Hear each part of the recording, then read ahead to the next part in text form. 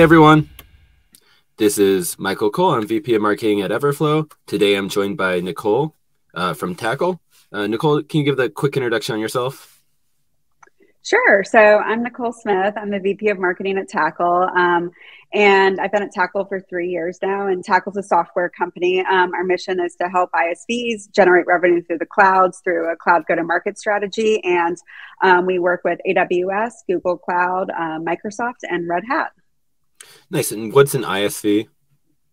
Yeah, an independent software vendor. So any software company. Yeah, just a the cloud's term for software companies. Yeah, it's so funny that in that industry, everyone calls them ISV, ISVs, yes. and everywhere else, it's like it makes it's a weird term that's so standard. It is. I didn't know what it, I never had used that term before coming to Tackle. So thank you for asking me what the acronym was. and what is Tackle? Yeah. So our platform and our team um, really work with companies. So we want to help our companies like work to identify who the right buyers are, help you grow your, you know, your cloud motion through co-sell with the cloud providers, and then really transact um, at scale through these different um, hyperscalers.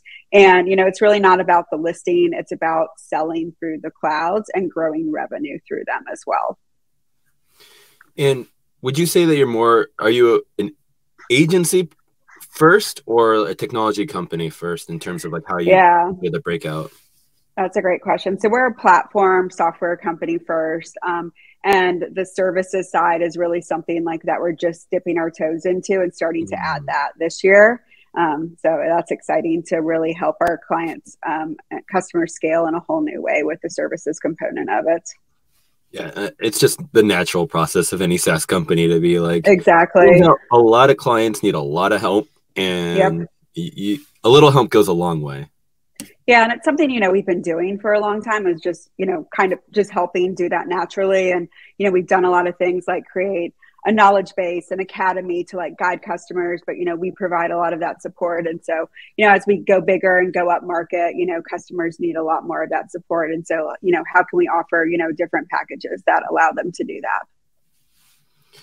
And as VP, VP of marketing like internally what channel do you spend your most attention on? Like what do you focus on in terms yeah. of like making sure your team executes the most on I wish there was one, but I don't feel like there is. I think, you know, it's really hard because I don't think there's just like one touch point marketing can have. Probably, you know, there's, you know, as you know, there's like 15 to 20 touch points to even get a prospect in the door. There's 30 more before, you know, someone becomes a customer. So I feel like I just kind of obsess over all our channels probably and what, you know, what we're doing. And, but I think, you know, if there's one that I'm really focused on right now, it's community. That's been newer to us right now. Um, we just started building that out this past year and are really growing and scaling that. And I think it's even more important, you know, in this time of how can we make sure our customers feel supported, that they are like, you know, getting the answers they need, that they're growing, you know, and finding help and support and best practices for other customers. So that's something I'm just like really excited about as the community and how we're building that at Tackle. And for community, is that say like Slack? Is that what what is the primary like channel for yeah. community connect? We're using a um, a product called Vanilla for that, it's Vanilla Forums, and so it's not through Slack. Um, you log in online to it, and um, you know we went back and forth of what the best tool was for that, and landed on that. But yeah, lots of different research and asking our customers what they preferred. You've been pretty happy with the tool so far.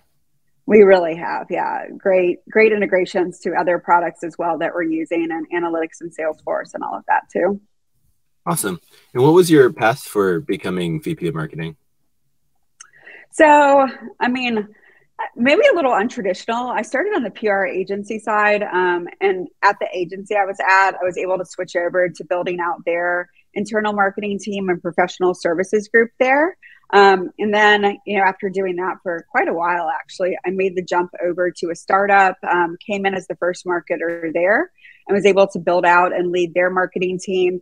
And then I think just kind of rinsing and repeating that motion over time at different startups. Um, I just I love building teams and go to market programs, and lucky enough now to be getting to do that for the third time at Tackle. And I think you know it's just kind of a combination of hard work, um, great coaching and a lot of luck, honestly, along the way. That's really awesome, though. It makes sense. It's always yeah. hard when you do agency stuff to sort of not just become Groundhog Day of repeating. So going yes. from agency to like doing the internal marketing for the agency, like that's a really smart path towards developing all the other skills that you you miss out on as an agency. Thanks. I, I love to hire agency marketers as well because I think they have such a great, especially for startups, because I think they really know how to juggle and multitask and you know use their time effectively as well. Yeah, you better be organized. yes. All right, let's hop into like some more long form okay. discussion questions. So, first off, can you give me the quick rundown of the major cloud marketplaces that you focus on and why they matter? Sure. So we focus on the hyperscalers, so AWS, Microsoft Commercial Marketplace, uh, Google Cloud, and Red Hat. And I think marketplaces are super important as a go to market channel because, especially right now, like when the market's really volatile, buyers cloud spend continues to grow. So and i won't like over throw out tons of stats but if you're newer to marketplaces a lot of people don't realize how much of buyers cloud spend is there and that just continues to grow. So um, we did a big state of cloud marketplaces report last year. This is our third year doing it and some stats that we have from that are that IDC found that um, 90 billion was added to the total yearly cloud spend last year, and that's actually the highest growth rate um, since 2018. And then in our report where we surveyed cloud um, buyers and cloud sellers, um, two thirds of the survey respondents from that said that they allocated more to their cloud budgets this past year, and then 68% are going to increase it again in 2023. So, like when I think about those numbers and why I think cloud marketplaces are important, um, more buyers are buying through there. And as they're investing more with the clouds and putting more budgets there, software companies are really quickly figuring out like, okay, we need to be attaching to this growing budget in the clouds. And, you know, the market's really shifting from this growth at all costs to efficient growth. And, you know, we're seeing sales teams and companies need more routes to market and a new way to reach buyers.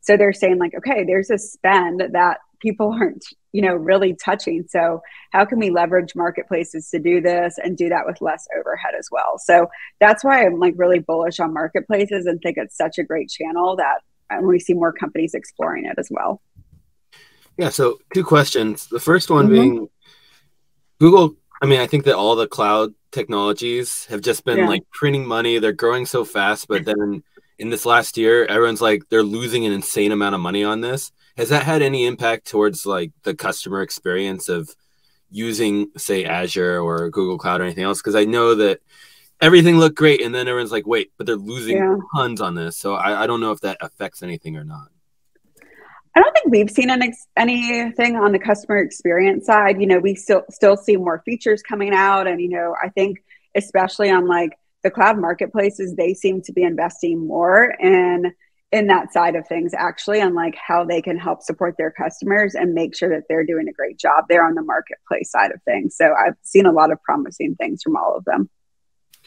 Cool. And then the other question on that is once you're in these mm-hmm. marketplaces typically who is the the roles in a company that are reaching these buyers so you get your listing everything set up mm-hmm. to go but who's actually usually the the role that reaches that the actual buyer and is talking with them is it I like, yeah.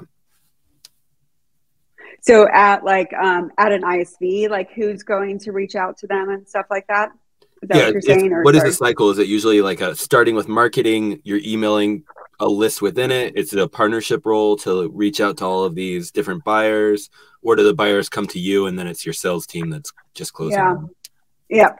Great question. So we actually see it like it's definitely not a build it and they will come like you put up your listing and you're just done and that's actually where i think a lot of like the misconceptions about marketplace come from and you know we get kind of put in a bad position sometimes because marketers come like i'll have you know cmo or vp of marketing come to me and be like we you know channel and alliances or sales like got our listing set up and we're not getting anything from it. Like what do we do? And i'm like well you have to like market it just like and invest in it just like you do with any other channel. So um, i really see it. It has to be a go to market effort across the organization and all cross functional teams have to be involved. But you need to have one central owner and usually we see it as being like the owning of channel and alliances owns that. But you know, sales has to be taught how to sell through this new channel. Like they have to be talking to their buyers very early on in the buying cycle about like asking them, like, do you have a, you know, relationship with any of these cloud providers? Do you have committed cloud spend with them?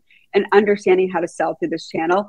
And that's usually on, you know, the channel and alliances team to like bring this knowledge to them and teach them these things about the relationship and then enable them to go talk to the buyers about that. So very cross functional. And then, you know, marketing should be doing like promotional work to help promote the channel as well.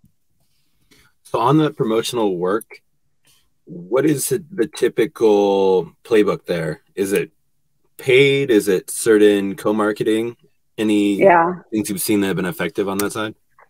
Definitely the co-marketing side um, but that really helps once you have like a few wins under your belt and you can start building that better together story with the cloud providers or you know anyone like that. Um, and then i do like the paid aspect as well. Um, so people can find your listing you know if you're going to do something like it's much quicker than the organic side if you can pop some paid ads up and direct people to your listing that way. I also think it's a great idea to on your website, you know, talk about it as well. Like tell buyers like you have an easier way for them to buy and that way, you know, put it into emails, customer newsletters. Um, especially it's it's approaching like end of quarter. It might be way easier to take a renewal through marketplace rather than um, you know doing it direct. And so that could accelerate a deal and bring it in quicker.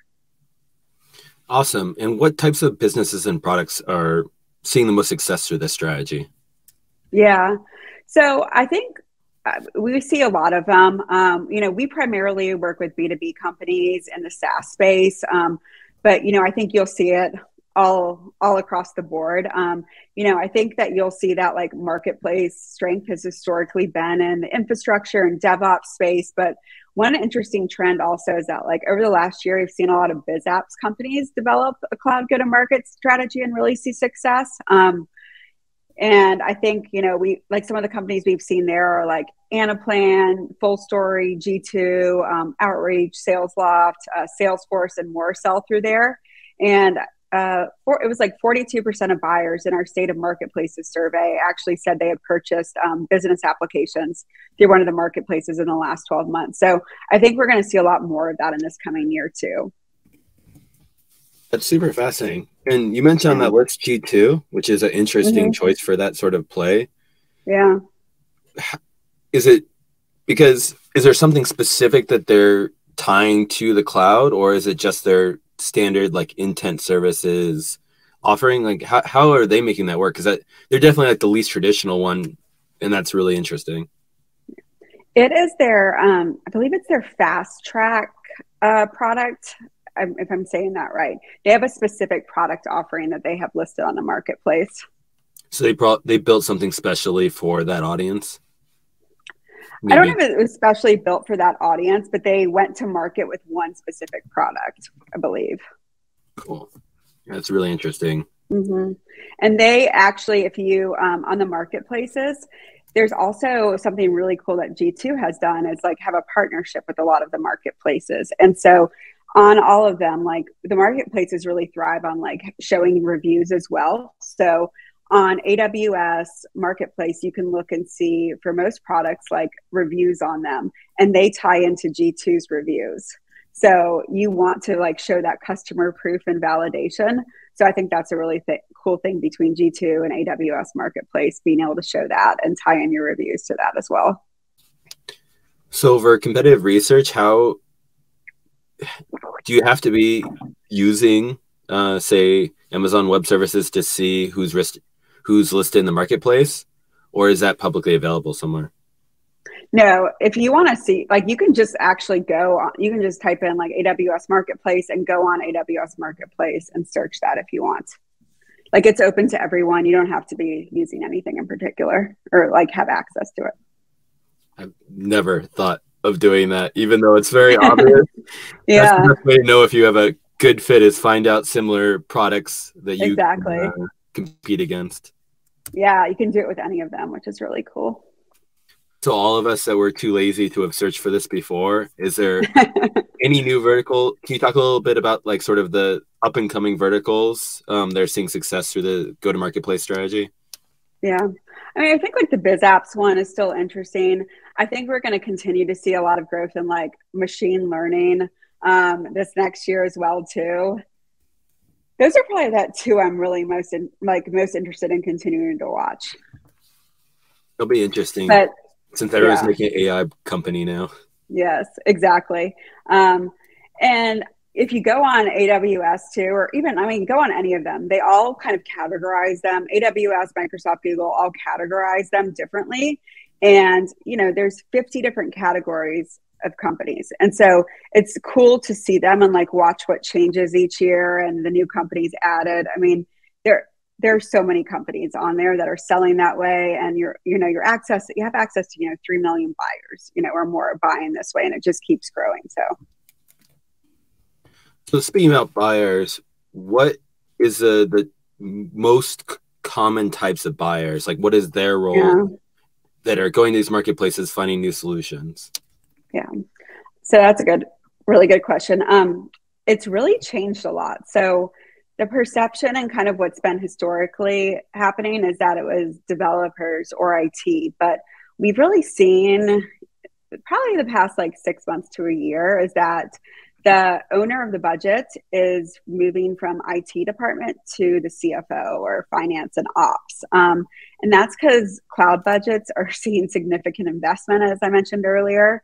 And the purchasing is moving from like the non technical departments to leverage the budget. So, you know, they're understanding that now there's all these different applications on the marketplaces, like we were talking about, like with biz apps and everything. And so all the different functions like marketing, sales, products, CS want to be able to access the budget and unlock that so you can draw down your committed cloud spend.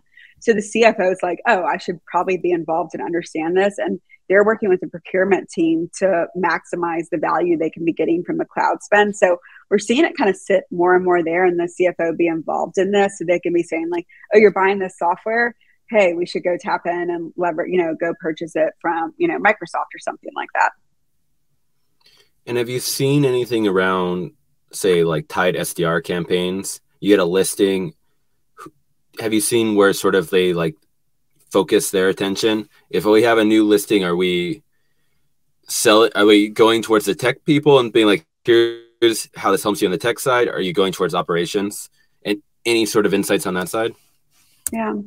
I think it just probably depends like what sort of product it is, like who they yeah, might market definitely. it to. Yeah. Cool.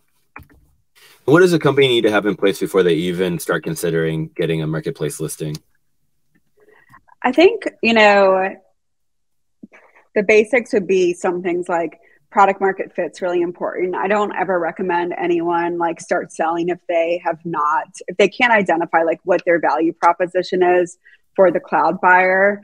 Um, another thing is really having an owner. Um, someone internally does have to own making cloud selling successful.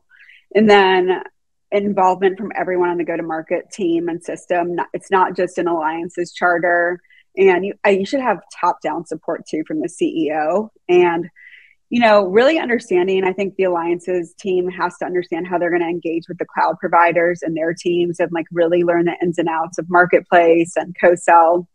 And a lot of companies like that we're working with too have might have a channel motion already in place. And so it like starts to make you have to think about how do you rethink your existing channel model to include marketplace in that.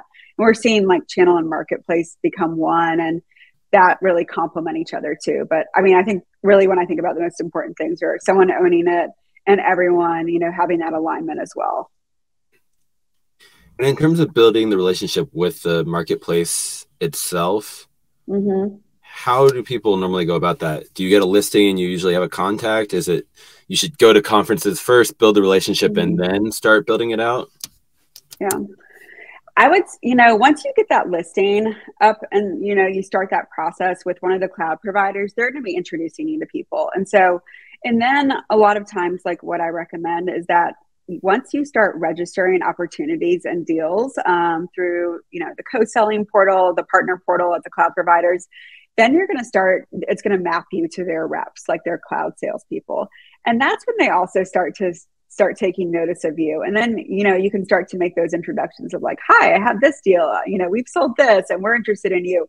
And i mean kind of revenue solves all problems. I think yep. it builds relationships too as well with them. Um, but you know they will they will make those relationships for you. You know also i think you know working with like a tackle we can help facilitate and manage those. But you know if you're still doing it on your own you have an opportunity to do that. But again it does i think it takes someone dedicated in a system to working at it understanding their big complicated organizations. And you just have to kind of like take the time to map out you know who you want to be working with. Like marketing is going to work with someone different than product is and sales is and alliances. Awesome. That's really uh, great answer. You covered everything. Sweet. And what do you wish that some of Tackle's uh, clients in the early days uh, had understood quicker about marketplace listings and making this work? I think probably just like setting expectations of what for the company of what marketplace is and not. Um, I think, you know, we've again gone back and just had to like level set a long time along the way of, you know, it's it's not a magic channel that revenue just starts throwing through naturally. Um, you know, you really have to put the work in and educate internally, you know, understand when to talk to buyers about it in the buying cycle, you know, developing enablement materials, um, and working with the, you know, cloud providers as well. And then I think it's also really working with people to like build a plan around the multi-year journey um, that it's really great. Like we have a lot of people um, and i think really seeing success around if you do 5% of revenue um, of your total revenue in year one through marketplace like that's amazing. And then you can build up to like 10 to 20% over the next year and that's crazy. Like that's awesome growth. And i think some people come in with expectations of like oh this will be 50% of my revenue in year one. And you know again it's we've had a lot of work to do on our side of like setting the right expectations and managing those expectations. So yeah just something you kind of learn over time that you have to set those right expectations on our side and then like making sure the customers are setting those with their teams too after they you know when they're going through this whole process and building their strategy. And when you're talking to a company that is a good fit has a great product is there a success they're starting this for the first time what's usually the expectation about how long they should expect this to take before they start seeing like some stuff that they can show internally of the success of it. Yeah. It really varies. Like a lot of customers are coming to us like because they have a deal that has told them like, "Hey, I want I have to buy this through marketplace and mm. um, you're not listed there. So they're like, oh, I got to go get listed right now. Um, and then other customers are coming to us because their competitors are there and they want to be there as well. Or, you know, they realize that this is, you know, kind of the future of go to market. And so they need help, you know, building this out. So it might take them like, you know, six months or something to get that go to market motion going. And so I think it just kind of depends of what the organization structure is and who who's built bought in on that and everything. Mm-hmm. um, and then what they've done in preparation. You know we have a lot of customers that maybe they've done this twice in previous roles and that like they know they know what they need to do. And then someone who's brand new to this um, i would yeah sorry i know that's not a great answer but it, there's not really like a template that just makes sense for every company. People come at different stages i think no, I think it's very enlightening to just sort of walk through yeah. the process of it. Yeah. And in that case where they've done this at other companies, what like what is the number one reason they're saying like, okay, I know I know how to do this. I know this is great. I'm going to go to tackle. Because they don't want to build it themselves. Um, it it usually, you know, if you're building it yourself and doing all the integrations, then you're taking your engineering team off of cycles that they can be doing, you know, building your own product for yourself. Um, and it usually takes about something like six months or longer to do it yourself. Um, and with us, you know, we can, you know, get you up and running in a month or so. And it also is like we're a multi marketplace, so we can, we'll work with all the cloud providers. And it's very hard for one company to do this for all the different cloud providers. And if you know something with one of their integrations change, then you have to understand all that and do it. So, you know, with the Tackle platform, it's like one pane of glass. You don't really need to know all the things about each cloud provider.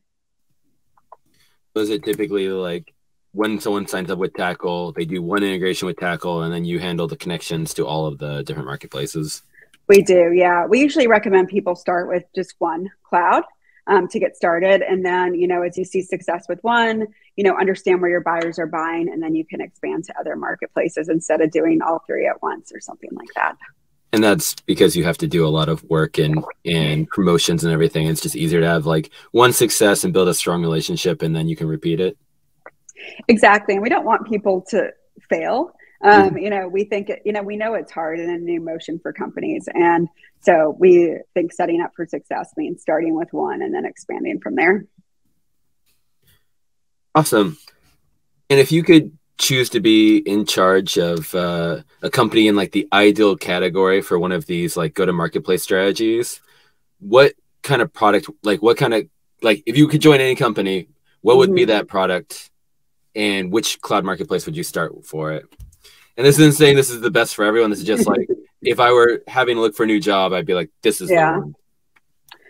That's a, such a good question. Um, I mean, I think something with like machine learning would be really interesting, just kind of seeing the explosion of that. But it, again, I would probably go back to what my criteria is earlier about yeah. if, the, you know, they've got to have a strategic long term commitment to this. But I then think like as I would look at the product and understand like which marketplace to start on. So if if all those things fall into place, um, you know, something that I think is really cool is that you know tackle and can take your pipeline and look at who's in your pipeline. And we can give you a report that tells you um, which of your buyers have the highest likelihood to buy and through which mm. marketplace. So that's why I would how I would start to determine like which one to start with because it, it you don't always know. Like you could have a relationship with more than one cloud provider. So that lets you understand who to start with and where to go. So that's how I would make that determination. And then so like, you know, understand product market fit, you know, cloud go to market, and then build that strategy and if they're willing to invest and then go figure out like start with that marketplace where we have the most opportunity and buyers yeah i think that's a huge perk to just be able to be like okay which one actually has the most buyers yes focus that that helps so much yeah it's like marketing and sales gold i think like so many abm campaigns opportunities as well too great and I, we talked a little bit about this, but I'd love to dive a little bit more into it. Yeah. So once you're listed, what are the main like early tactics that get a lot of success? Sure.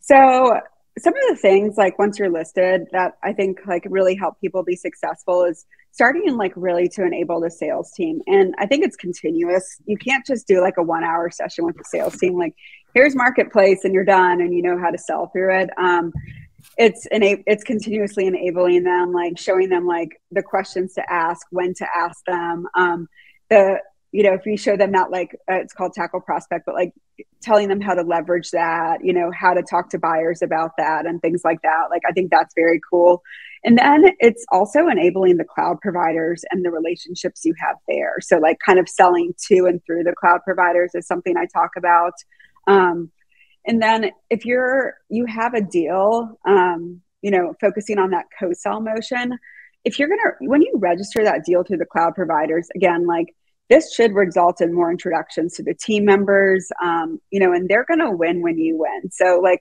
you connect with them, like start explaining what you do and start collaborating on that strategy to win together. And if you, you know, you know those like high likelihood to buy accounts, like there's a chance they've already probably purchased through marketplace so then there's a, probably a higher chance that the cloud provider sales rep wants to work with you too so i think it's just kind of setting all that up like make sure the sales team like knows the questions to ask you know take the right deals through marketplace don't register every single opportunity make friends and connections with the cloud provider reps and you know that starts to build like a really great you know cloud go to market flywheel motion that kicks everything off and starts the revenue cycle so I'm assuming that it's pretty similar, but with Salesforce, the way we've been thinking about it for mm-hmm. our conversations with them is just yeah.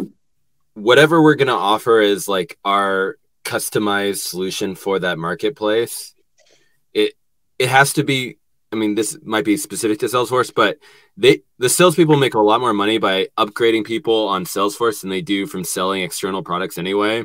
So mm-hmm we had to position it so how do we make them better at selling their own solution and, and scaling their own customers and then we're just like a nice add-on that lets mm-hmm. them win more mm-hmm. business internally yeah. is it the same for other marketplaces where you're trying to do something that helps scale the user's already existing cloud account Not really. Like they're incentivized to go out and sell, you know, something like tackle or your own your new product as well, and you know have a book of business around that. So, um, I yeah, so a little bit different than the Salesforce side of things. Cool. Yeah, it's super interesting. Yeah. And then I wanted to go into uh, one of the things you were saying, which is just enabling the cloud provider to co-sell your product. What mm-hmm. kind of assets and things like that typically are being used in a situation where you're you're actually enabling them to promote you more? Yeah. So we do a lot of different things around that. Like we create specific like presentation decks for them around like who we are, what we do, um, success stories as well. And then, you know, we might do like kind of lunch and learn sessions with their teams, um, you know, specific collateral just for them that, that their sales reps can share as well when they're talking to someone where we might not be involved in the conversation yet. Um, we also send, you know, I might call them like WinWires monthly newsletters to the cloud mm-hmm. provider teams where we're sharing like, hey, here's all the deals we did last month, you know, call out certain ones like, that they they support pretty much all of them i feel like. But you know call out certain wins and certain reps along the way share growth numbers we'll share customer success stories. We also share like upcoming things that we're doing with them um, content and blogs and things like that. So always trying to stay very top of mind too with them. Really like that WinWires that's a mm-hmm. awesome way to handle it with partners. Be yeah. like hey here's all of the different like shared deals here's the updates on them and here's a happy testimonial for one of them that's yeah. really powerful like we've never done that motion but it makes complete yeah. sense yeah it's really powerful i think to do that awesome and from your own side of how you're getting pipeline for tackle what are the main channels that you've been focusing on building out and why yeah. We've really been focused on building out ABM um, lately as a company. So we're going a lot more up market. Um, we've so that's obviously been a big focus. Um, we've done a lot of great stuff with leveraging 6sense and Uberflip. 6sense was the conference where I met you at, um, mm-hmm. and you know we really want to understand you know buyer behavior. I think that's so critical, and you know create more personalized campaigns for them. So, and I think you know what's great about ABM is it utilizes all the channels that you're currently working on too in your marketing efforts. So you know it focus on you know like what content are we doing? How can we use sem in this? Like what are the events that we can tie into our abm programs? Um, product marketing like what's coming out and how do we talk to you know our prospects about this as well? And then you know brand is super important with that as well. So all of this has been a really big focus and part of our plans and programs especially as we're thinking about this next year. And for your abm is the bdr team under marketing or is it a sales reach out once you find the right like uh, intent signals? Yeah, they're under sales, but um, we work very closely with the sales leader who leads that team. And yep, so it's a sales reach out like once we find the right sort of intent signals, and we partner like super closely with them to under, like identify our target accounts for that. And where is there anything with like the ABM strategy where you're like, this is something I want to replicate in all future companies? Has anything specifically been like, oh, this is amazing? I would. I, I've never been a big person who's like tools are such a critical thing, but honestly think 6sense yeah. is something I would take with me to every single company. Um, I had not used that before Tackle, but it's it's really been a game changer i think of using it and the reps have like gotten behind it. They love using it. It's made them excited about doing abm and working and like we just started with the sdrs and we've had aes begging for licenses like after seeing the success of it. So we're expanding it now to the ae team and that's just not something i usually see as like aes begging for something like that. yeah getting salespeople excited about anything is yeah And in terms of there, like, what is like the categories and signals that are the most valuable? Because I've heard a few things that sound really amazing, like keyword, like who, what people are searching on keywords. Is there any sort of like bucket of information you find is like the most exciting part? That's a good question. Um, I think like when people are visit, like um, start visiting like the demo page and pricing page on Tackle, like we do have an open pricing page. So I always find that like a huge driver of like, okay, this is interesting to me. Um, and then I think just const like the more visits you start seeing at different points of the sales cycle are really exciting. But yeah, I, I haven't thought about that as much. that question. So that's a good one. That's really interesting. So yeah. there's people that have already reached your website, but they just mm-hmm. never interact with anything. Like there's a right. a lot of opportunities there that you would be missing out on if you're not saying like, mm-hmm. hey, you you were interested at one point. We need to make sure that we actually yeah. answer your question so you yeah. can convince people internally. Is that a big piece of it? It definitely is, yeah. And we've seen a ton of opportunity too with Uberflip as well as a result um, of really creating like customized campaigns from that um, of reaching people. One of the things we do is look at people who are currently on marketplace but mm-hmm. are not using tackle for that um, and kind of looking at them and you know putting them into different again like abm campaigns and creating customized content landing pages for them and catering resources like to where they are and those needs. And i think that's been like super powerful to see like emails okay they work but like then when they're clicking on that you can see the content they engage with on those Uberflip landing pages and like what they're reading it's like okay I think maybe I would take my answer back and say like that's a higher intent signal. Honestly, for me, is like those pages and see like kind of clicking into the deeper stuff, and then you see people like request a demo from those pages too. That's super interesting. How is that structured? Is it are these landing page like how are the landing page structure? Is yeah. it just like a long form content? Is it just sort of like here's a like a little bit of concise content and then a bunch of links, and then you're looking at those links to figure yeah. out what's working? It's like it's about like six to eight different pieces of content on a page of like hey and like some short copy at the top of you know kind of explaining you know why they're here. And we set it up as like hey we created like some personal pages for you. And then you know a little bit deeper i guess i would say like middle to bottom of the funnel content for these people. Like we don't need to explain what marketplace is they know what mm-hmm. that is and kind of explaining showing off the knowledge that tackle has about marketplace since there and you know why they should be using us versus just you know being on there themselves That's super interesting and i feel like the challenge with all that stuff is it's really easy to have way too much data where it's really hard to yeah. take action but it sounds like the way you're doing it like there's very clear these are the signals and once we have these signals, we have not only SDRs, we have very specific landing pages mm-hmm. to drive them to. So everything is has immediate action from it. I think so. I think we still have a lot of work to do and trying things out and like everyone does you know, iterating on it. but I think we're going and we're going we're doing well, you know. But yes, always always things we can change and improve on.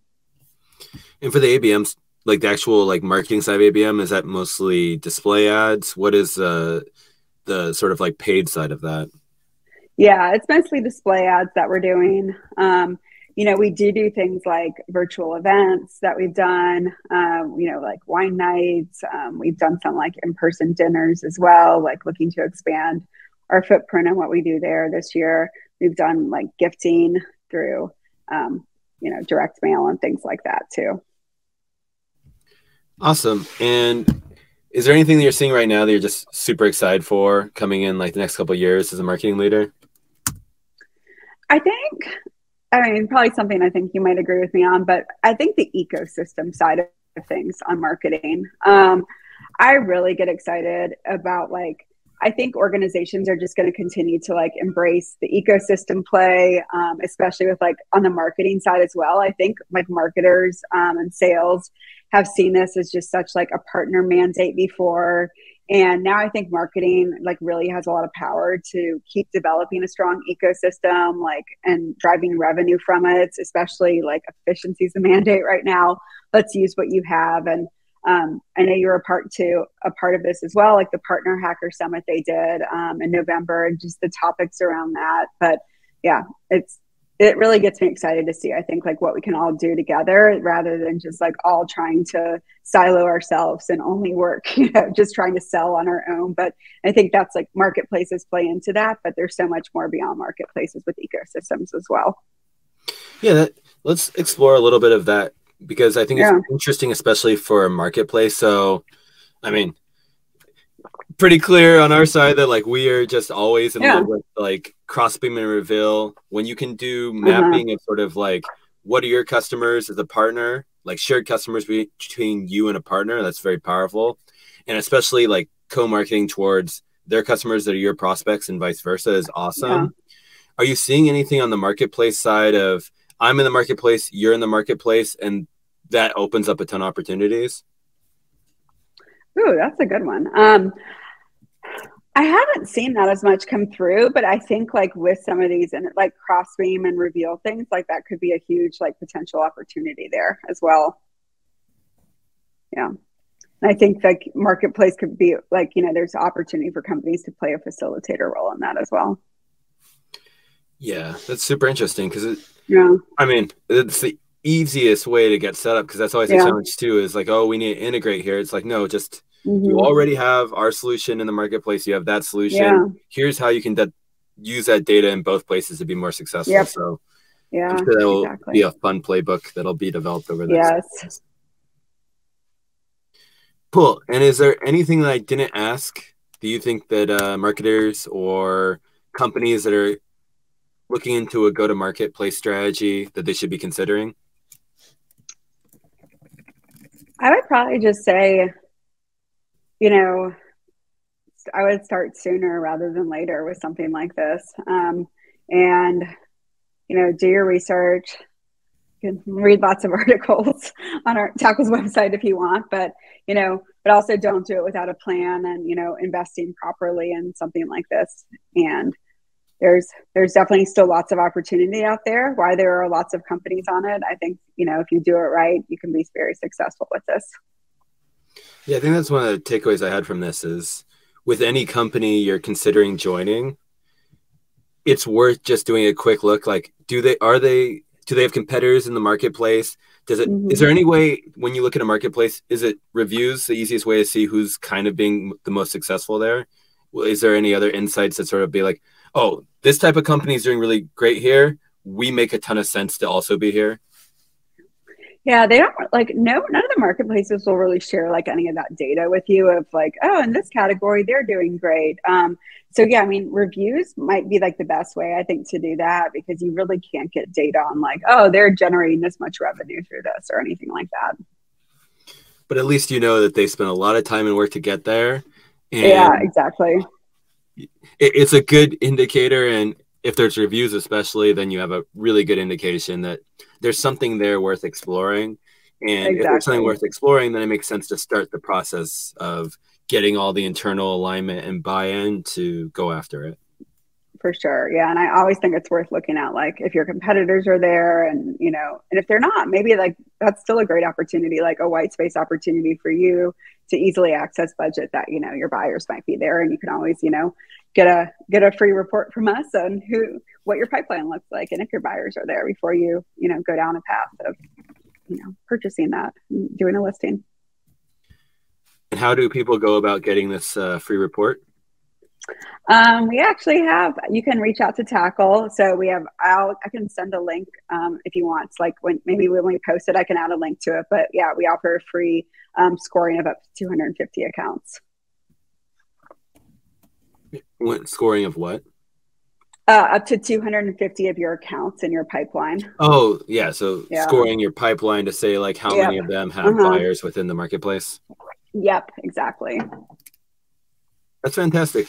And yeah. if people want to learn more or learn about you or anything else, what's the best way for them to learn about Tackle and yourself? Sure. So, yeah, learning about Tackle, um, our website is just tackle.io. Um, for me, I, um, LinkedIn, um, you can feel free to message me. Like, always happy to chat about marketing or anything else or cloud go to market. Yeah. So, would love to talk to people. Awesome. Thanks again, Nicole. This was fantastic. Thank you for yeah, sharing. Thank you for having me, Michael. Appreciate it.